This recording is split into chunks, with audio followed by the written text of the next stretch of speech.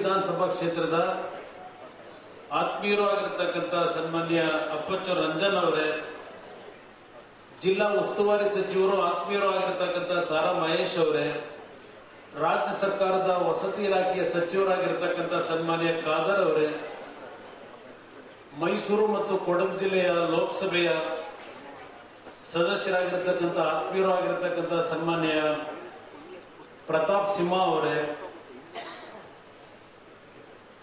ವೀರಾಜಪೇಟೆ ವಿಧಾನಸಭಾ ಕ್ಷೇತ್ರದ ಶಾಸಕರು, ಆತ್ಮೀಯರು, ಹಿರಿಯರು ಆಗಿರ್ತಕ್ಕಂಥ ಸನ್ಮಾನ್ಯ ಬೋಪಯ್ಯನವರೇ ಸಭೆಯಲ್ಲಿ ಭಾಗವಹಿಸಿರ್ತಕ್ಕಂಥ ಎಲ್ಲ ವಿಧಾನ ಪರಿಷತ್ತಿನ ಗೌರವಾನ್ವಿತ ಸದಸ್ಯರೇ, ಜಿಲ್ಲೆಯ ಎಲ್ಲ ಹಿರಿಯ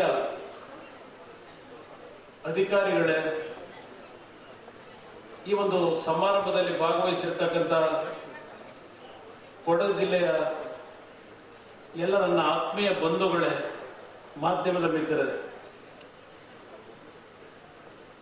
ಇವತ್ತಿನ ಈ ಒಂದು ಪ್ರಕೃತಿಯ ವಿಕೋಪದ ಹಿನ್ನೆಲೆಯಲ್ಲಿ ಈ ಜಿಲ್ಲೆಯ ನಿಮ್ಮ ಒಂದು ಸಮಸ್ಯೆಗಳಿಗೆ ಯಾವುದೇ ಸರ್ಕಾರಗಳಲ್ಲಿ ಸ್ಪಂದಿಸಬೇಕಾಗಿರ್ತಕ್ಕಂಥದ್ದು ಆ ಸರ್ಕಾರಗಳ ಕರ್ತವ್ಯ.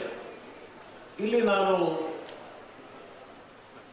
ಇಂಥ ಒಂದು ಪರಿಸ್ಥಿತಿಗಳಲ್ಲಿ ಏನೋ ದೊಡ್ಡ ರೀತಿಯಲ್ಲಿ ನಿಮ್ಮೆಲ್ಲರಿಗೆ ಉದಾರತೆಯಿಂದ ನಾವು ಕೊಡುಗೆಯನ್ನು ಕೊಟ್ಟಿದ್ದೇವೆ ಅಂತ ಹೇಳಿ ನಾನು ಹೇಳಲಿಕ್ಕೆ ಹೋದರೆ, ಅದು ನನ್ನ ಒಂಬತನ ಆಗುತ್ತೆ ಅನ್ನೋದು ನನ್ನ ಅಭಿಪ್ರಾಯ. ಯಾವುದೇ ಒಂದು ಕಾರ್ಯಕ್ರಮಗಳನ್ನ ನಾವು ಮಾಡಿದ್ರೆ, ಯಾವುದೇ ಒಂದು ಜನತೆ ಸಂಕಷ್ಟಗಳಲ್ಲಿದ್ದಾಗ, ಯಾವುದೇ ಒಂದು ರೀತಿಯ ಪರಿಹಾರಗಳನ್ನು ಕೊಡೋದಾಗಲಿ ಯಾವುದೇ ರೀತಿಯ ಒಂದು ಯೋಜನೆಗಳನ್ನು ನಾವು ಅನುಷ್ಠಾನಕ್ಕೆ ತರೋದಾಗಲಿ, ಅದು ಸರ್ಕಾರದ ದುಡ್ಡು ಅಂತಕ್ಕಂಥದ್ದು ಬೇರೆ ವಿಷಯ. ಆದರೆ ಸರ್ಕಾರದ ಖಜಾನೆಗೆ ಹಣ ತುಂಬಿಸ್ತಕ್ಕಂಥವ್ರು ಯಾರು? ಈ ದೇಶದ ನಿಮ್ಮಂತ ಪುಣ್ಯಾತ್ಮ ಜನ ಏನಿದ್ದೀರಿ? ನೀವುಗಳೇ ನಿಮ್ಮ ಹಣವನ್ನ ಆ ಸರ್ಕಾರದ ಖಜಾನೆಗೆ ತುಂಬಿರ್ತೀರಿ, ಆ ದುಡ್ಡನ್ನ ನಿಮಗೆ ನಾವು ವಿನಿಯೋಗ ಮಾಡ್ತೀವಿ. ಇದೇ ನಮ್ಮಗಳ ಮನೆಯಿಂದ ನಾವು ಹಣ ತಂದು ಖರ್ಚು ಮಾಡತಕ್ಕಂಥದ್ದಲ್ಲ ಆದರೆ ಒಂದು ಇವತ್ತಿನ ಈ ಒಂದು ಪ್ರಕೃತಿಯ ವಿಕೋಪದಲ್ಲಿ ನಾಡಿನ ಜನತೆ ಏನು ಸ್ಪಂದಿಸಿದ್ದಾರೆ ಕೊಡಗು ಜಿಲ್ಲೆಯ ಒಂದು ಅನಾಹುತಕ್ಕೆ? ಹಲವಾರು ಸಂಘ ಸಂಸ್ಥೆಗಳು, ಹಲವಾರು ಈ ನಾಡಿನ ನಾಗರಿಕರು ನಿಮ್ಮಗಳ ಒಂದು ನೋವಿಗೆ ಸ್ಪಂದಿಸಿರ್ತಕ್ಕಂಥದ್ದೇನಿದೆ? ಅದಕ್ಕೆ ನಾನು ನಿಮ್ಮೆಲ್ಲರ ಪರವಾಗಿ ರಾಜ್ಯ ಸರ್ಕಾರದ ಪರವಾಗಿ ಹೃದಯಪೂರ್ವಕವಾದಂತಹ ಅಭಿನಂದನೆಗಳನ್ನು ಅವರೆಲ್ಲರಿಗೆ ಸಲ್ಲಿಸಲಿಕ್ಕೆ ಬಯಸ್ತೇನೆ. ಬಹುಶಃ ಈ ರೀತಿಯಲ್ಲಿ ಕೊಡಗು ಜಿಲ್ಲೆಯ ಒಂದು ಪುನರ್ ನಿರ್ಮಾಣಕ್ಕೆ ಮುಖ್ಯಮಂತ್ರಿಗಳ ಪರಿಹಾರ ನಿಧಿಗೆ ಇಷ್ಟು ದೊಡ್ಡ ಮಟ್ಟದಲ್ಲಿ ಹಣವನ್ನ ಸಂಗ್ರಹಿಸ್ತಕ್ಕಂಥದ್ದಕ್ಕೆ ಹಲವಾರು ರೀತಿಯ ದಾನಿಗಳು ಇವತ್ತೇನು ಮುಂದೆ ಬಂದರು. ಅವರೆಲ್ಲರನ್ನೂ ನಾವು ಅಭಿನಂದಿಸಲೇಬೇಕಾಗುತ್ತದೆ, ಸ್ಮರಿಸಲೇಬೇಕಾಗ್ತದೆ. ಇವತ್ತು ಇದೇ ವೇದಿಕೆ ಮೇಲೆ ನಮ್ಮ ಸರ್ಕಾರಿ ನೌಕರರು ಅವರ ಸಂಘದಿಂದ ಒಂದು ದಿನದ ಅವರ ಸಂಬಳದ ವೇತನವನ್ನು ಏನು ಕೊಟ್ಟಿದ್ದಾರೆ. ಸುಮಾರು ನೂರು ಕೋಟಿ ರೂಪಾಯಿಗಳ ಒಂದು ಚೆಕ್ ಅನ್ನ ಇವತ್ತು ಮುಖ್ಯಮಂತ್ರಿಗಳ ಪರಿಹಾರ ನಿಧಿಗೆ ಕೊಡಗಿನ ಒಂದು ಪ್ರಕೃತಿ ವಿಕೋಪದ ನಿಧಿಗೆ ಕೊಡ್ತಕ್ಕಂಥ ತೀರ್ಮಾನವನ್ನು ಸರ್ಕಾರಿ ನೌಕರರು ಸೌರ ಸಂಘದ ಅಧ್ಯಕ್ಷರು ಪದಾಧಿಕಾರಿಗಳೇನು ಮಾಡಿದ್ದಾರೆ, ಅವರಿಗೆ ನನ್ನ ಹೃದಯಪೂರ್ವಕವಾದಂಥ ಅಭಿನಂದನೆಗಳು ಅವರೆಲ್ಲರೂ. ಇವತ್ತಿನವರೆಗೆ ಸರ್ಕಾರದ ಮುಖ್ಯಮಂತ್ರಿಗಳ ಪ್ರಕೃತಿ ವಿಕೋಪ ನಿಧಿಗೆ ಬಂದಿರತಕ್ಕಂತ ಒಟ್ಟಾರೆ ಹಣ. ಈ, ಈವರೆಗೆ ಜಮಾ ಆಗಿರತಕ್ಕಂಥದ್ದು ಸರ್ಕಾರದ ಖಾತೆಗೆ ಮುಖ್ಯಮಂತ್ರಿಗಳ ಪರಿಹಾರ ನಿಧಿಯ ಅಕೌಂಟ್ಗೆ. ನೂರ ಎರಡು ಪಾಯಿಂಟ್ ಇಪ್ಪತ್ಮೂರು ಕೋಟಿ ರೂಪಾಯಿಗಳು ಈ ಕ್ಷಣದವರೆಗೆ ಇವತ್ತು ಖಾತೆಯಲ್ಲಿದೆ. ಇವತ್ತು ಸರ್ಕಾರಿ ನೌಕರರು ನೂರು ಕೋಟಿ ರೂಪಾಯಿಗಳು ನೀನು ಕೊಟ್ಟಿದ್ದಾರೆ. ಸುಮಾರು ಇನ್ನೂರ ಎರಡು ಪಾಯಿಂಟ್ ಇಪ್ಪತ್ಮೂರು ಕೋಟಿ ರೂಪಾಯಿಗಳು ಒಟ್ಟಾರೆ ಇವತ್ತಿನ ಈ ಒಂದು ಈ ಪರಿಹಾರಕ್ಕೆ ಸಂಗ್ರಹ ಆಗಿರತಕ್ಕಂಥ ಹಣ ಅಂತಕ್ಕಂಥದ್ದನ್ನ ಈ ವೇದಿಕೆ ಮುಖಾಂತರ ತಮ್ಮಗಳ ಗಮನಕ್ಕೆ ನಾನು ತರಲಿಕ್ಕೆ ಬಯಸ್ತಾ ಇದ್ದೇನೆ. ಇವತ್ತು ಈ ಒಂದು ಅನಾಹುತದಲ್ಲಿ ಹಲವಾರು ರೀತಿಯ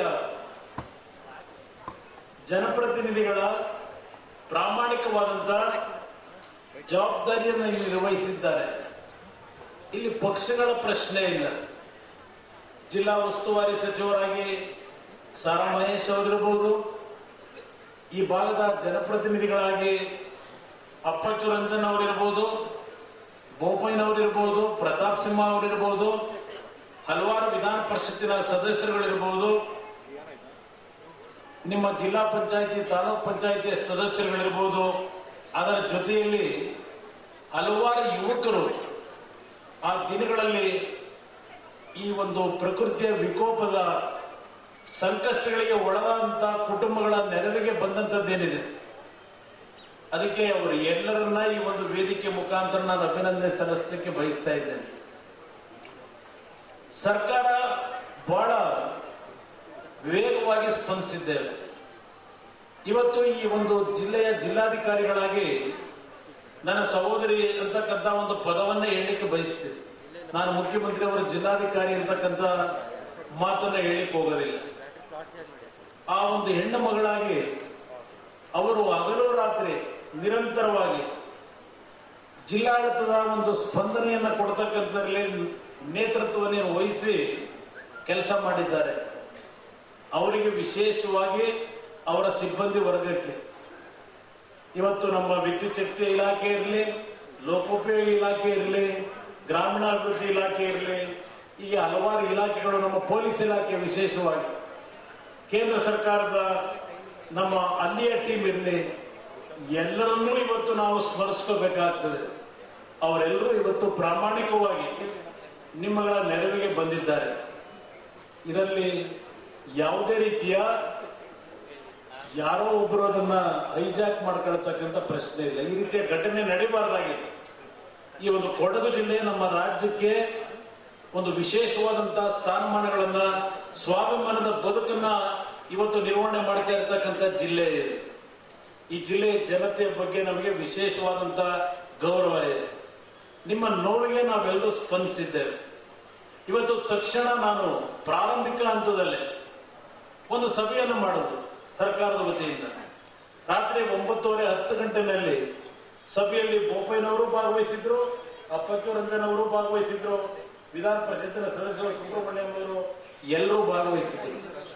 ನಾವೆಲ್ಲ ಕೂತ್ ಚರ್ಚೆ ಮಾಡಿ ಏನೇನು ಸಮಸ್ಯೆಗಳಿದೆ ಕೋಟಿ ರೂಪಾಯಿಗಳ ಒಂದು ಹಣವನ್ನ ಇವತ್ತು ಕೊಡಗಿನ ಒಂದು ಸಮಸ್ಯೆಗೆ ಬಿಡುಗಡೆ ಮಾಡ್ತೀನಿ ಅಂತಕ್ಕಂಥ ಒಂದು ಮಾತನ್ನು ಅವರೆಲ್ಲರಿಗೆ ಅವತ್ತು ಕೊಟ್ಟು ಹೋಗಿದ್ದೆ.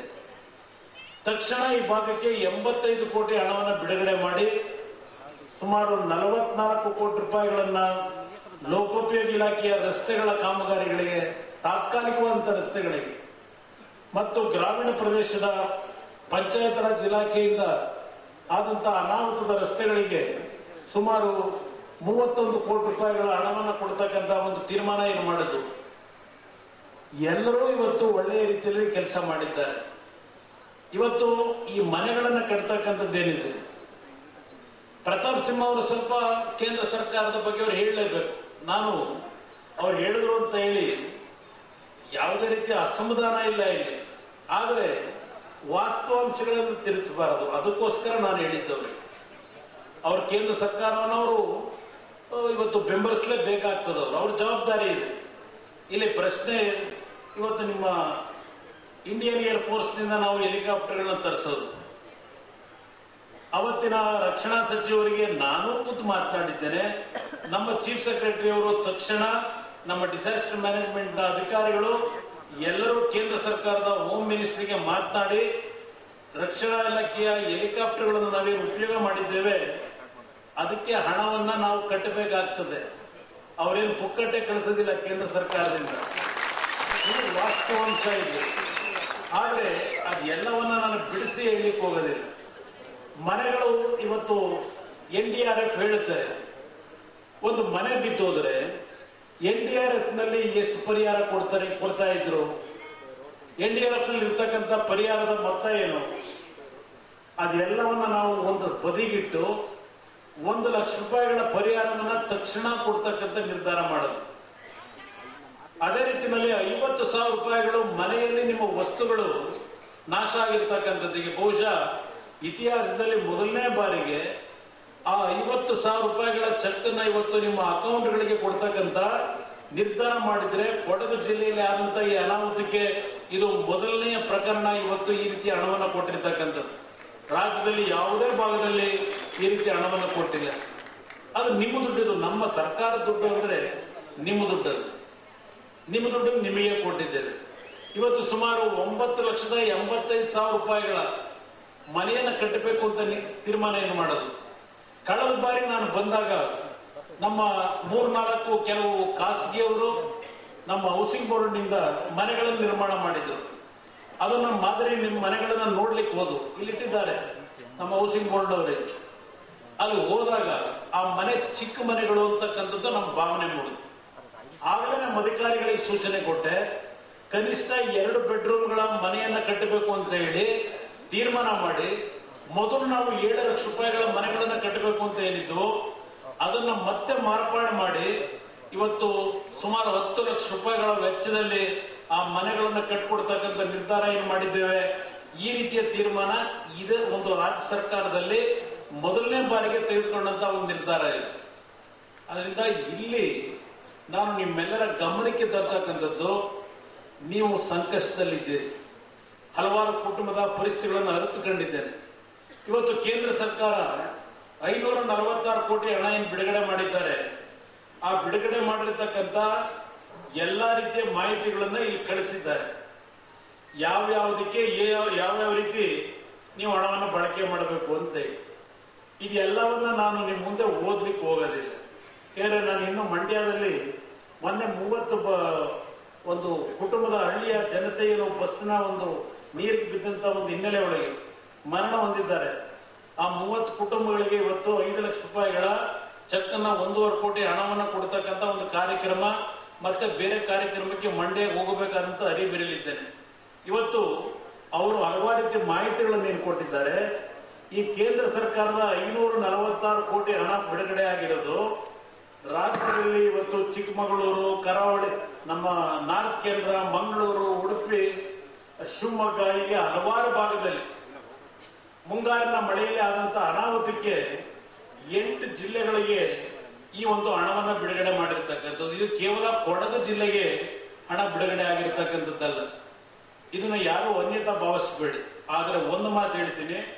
ಇವತ್ತು ಕೊಡಗು, ಇವತ್ತು ಕಾಫಿಯ ಒಂದು ಬೆಳೆಯನ್ನ ಬೆಳೀತಕ್ಕಂಥ ರೈತರೇನಿದ್ದೀರಿ?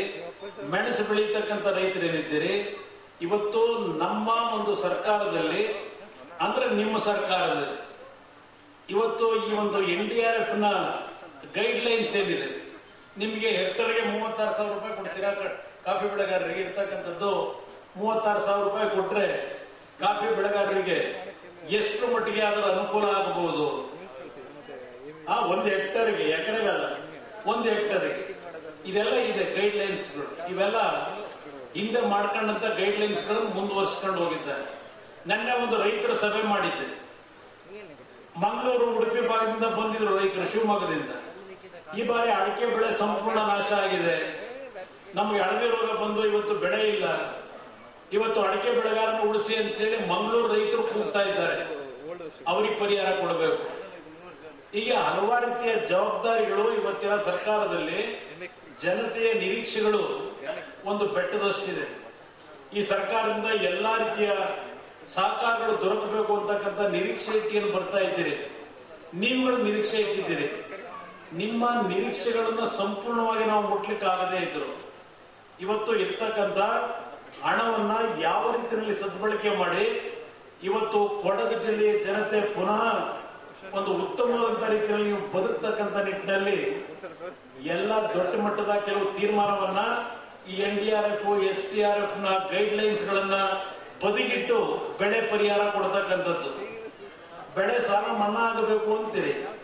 ಒಂದು ವರ್ಷ ಇಲ್ಲ, ನಮ್ಮ ಸಾಲಗಳು ಒಂದು ವರ್ಷಕ್ಕೆ ಮುಂದಕ್ಕೆ ಹಾಕಿ ಬಡ್ಡಿಯನ್ನಾದ್ರೂ ಕಟ್ಕೊಡ್ಬೇಕು ಅಂತಕ್ಕಂಥ ಕೆಲವರು ಇವತ್ತು ನನ್ನ ಮುಂದೆ ನೆಟ್ಟಿದ್ದೀರಿ. ಇದು ಎಲ್ಲದರ ಬಗ್ಗೆ ನಾವು ಕುಲಂಕುಷವಾಗಿ ಪರಿಶೀಲನೆ ಮಾಡಿ, ಇವತ್ತು ಮನೆ ಕಟ್ಟ ತಕ್ಷಣ ನಾವು ನೆಮ್ಮದಿಯಿಂದ ನಾವು ನಿಮಗೆ ಏನೋ ಕೆಲಸ ಮಾಡಿದ್ದೇವೆ ಅಂತ ಹೇಳಿ ನಮ್ಮ ಜವಾಬ್ದಾರಿಯಿಂದ ಹಿಂದೆ ಸರಿಯೋದಿಲ್ಲ ಈಗಾಗಲೇ ಜಿಲ್ಲಾಧಿಕಾರಿಗಳು ನನಗೆ ಒಂದು ರೆಕಮೆಂಡೇಶನ್ ಏನು ಕಳಿಸಿದ್ದಾರೆ. ಕಳೆದ ಬಾರಿ ಬಂದಾಗ ಈ ಭಾಗದ ಶಾಸಕರು ಬೋಪಯ್ಯನವರು ಅಪ್ಪಚ್ಚರಂಜನ್ ಅವರು ಒಂದು ಪುನರ್ವಸತಿಯ, ಒಂದು ಪುನರ್ ನಿರ್ಮಾಣಕ್ಕೆ ಒಂದು ಕೊಡಗು ಪ್ರಾಧಿಕಾರವನ್ನು ರಚನೆ ಮಾಡಬೇಕು ಅಂತಕ್ಕಂಥ ಸಲಹೆಗಳನ್ನು ಅವತ್ತೇನು ಕೊಟ್ಟಿದ್ದಾರೆ.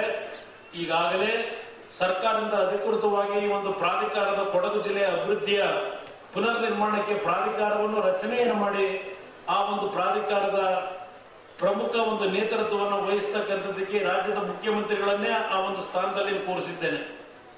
ಇವತ್ತು ನಿಮ್ಮ ಒಂದು ಸಂಪೂರ್ಣ ಅಭಿವೃದ್ಧಿಗೆ ನಾವೆಲ್ಲರೂ ವೇದಿಕೆ ಮೇಲೆ ಇರ್ತಕ್ಕಂಥ ನಾವೆಲ್ಲರೂ ಕೈ ಜೋಡಿಸಿ ಕೆಲಸವನ್ನು ಮಾಡ್ತೀವಿ ನಮ್ಮ ಅಧಿಕಾರಿಗಳಿಗೆ ಇವತ್ತೇನು ಇಲ್ಲಿ ಈ ಒಂದು ಬಡಾವಣೆಯಲ್ಲಿ ಮನೆಗಳನ್ನು ಕಟ್ತಾ ಇದ್ದೀರಿ ಐವತ್ತು ಎಕರೆ ಭೂಮಿನಲ್ಲಿ, ನಿಮಗೆ ನಾನು ಕೇಳ್ತಕ್ಕಂಥದ್ದು ನಮ್ಮ ಜಿಲ್ಲಾಧಿಕಾರಿಗಳಿಗೊಂದು ಕನಿಷ್ಠ ಒಂದೂವರೆ ಎಕರೆ ಭೂಮಿಯನ್ನು ಅದರಲ್ಲಿ ನಮ್ಮ ವಿದ್ಯುತ್ ಶಕ್ತಿ ಇಲಾಖೆಗೆ, ಚೆಸ್ಕಾಂಗೆ ನೀವು ಕೊಡ್ತಕ್ಕಂಥ ಒಂದು ತೀರ್ಮಾನವನ್ನು ಮಾಡಿದೆ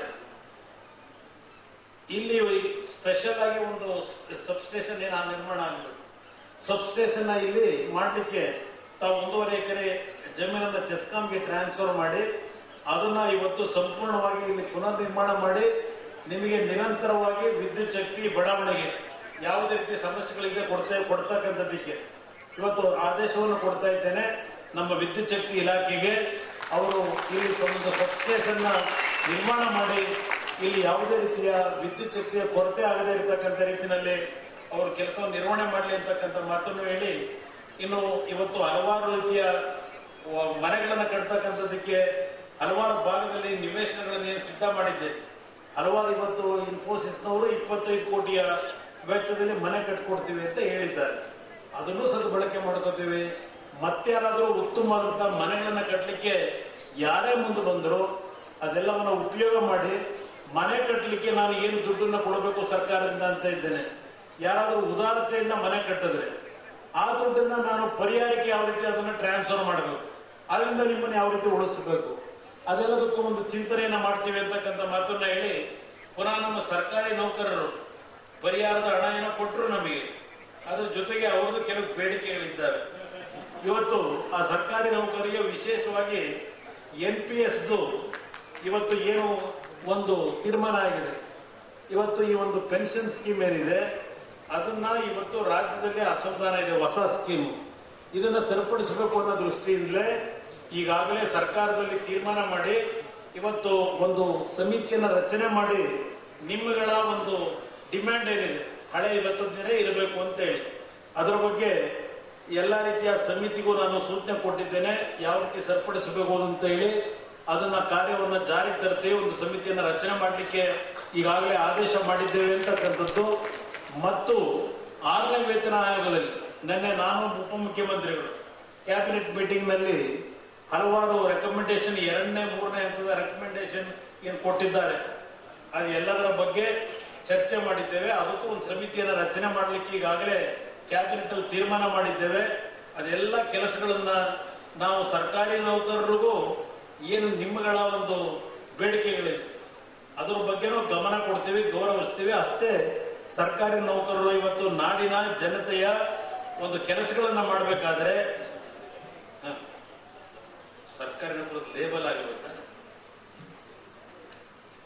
ಓ, ಇವತ್ತು ಸರ್ಕಾರಿ ನೌಕರರು ನೂರು ಕೋಟಿ ಹಣವನ್ನು ಕೊಡ್ಲಿಕ್ಕೆ ಇವತ್ತೇನು ತೀರ್ಮಾನ ಮಾಡಿ, ಘೋಷಣೆ ಮಾಡಿದ್ದಾರೆ. ಅವರು ಇಲ್ಲಿ ಮನೆ ಕಟ್ಟಲಿಕ್ಕೆ ಹಣವನ್ನು ಉಪಯೋಗ ಮಾಡಿ ಅಂತಕ್ಕಂಥದ್ದು ಅವರು ಇವತ್ತು ಅವರ ಅಭಿಪ್ರಾಯ ವ್ಯಕ್ತಪಡಿಸ್ತಾ ಇದ್ದಾರೆ.